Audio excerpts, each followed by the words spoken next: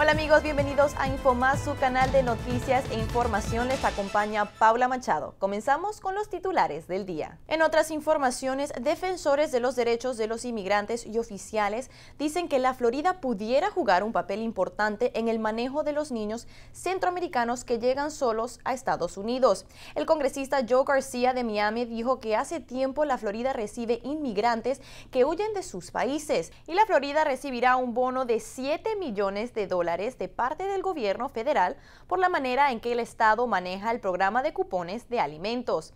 El Departamento de Niños y Familias anunció que obtuvieron el bono por séptimo año consecutivo. En Ocala, las autoridades arrestaron a un reconocido jinete por huir de una detención de tránsito con un alguacil colgado de su camioneta. Abdiel Toribio, de 42 años, fue arrestado esta semana bajo varios cargos. Hola, ¿qué tal? Bienvenidos a Revista Info Más. Les saluda Paula Machado. He aquí un vistazo a los titulares del show de hoy.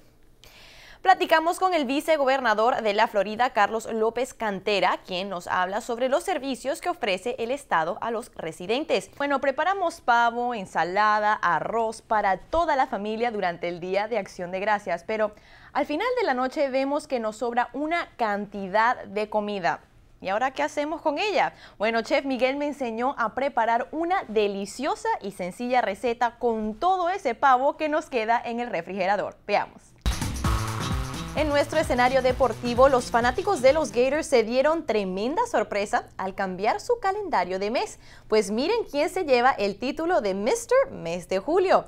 Nada más y nada menos que Aaron Hernández, quien en estos momentos permanece tras las rejas esperando su día en corte por el asesinato de tres hombres. Gracias por preferir Infomás, su canal de noticias e información. Soy Paula Machado Siga con nosotros para otra cobertura del acontecer local, nacional e internacional, así como el pronóstico del tiempo las 24 horas del día.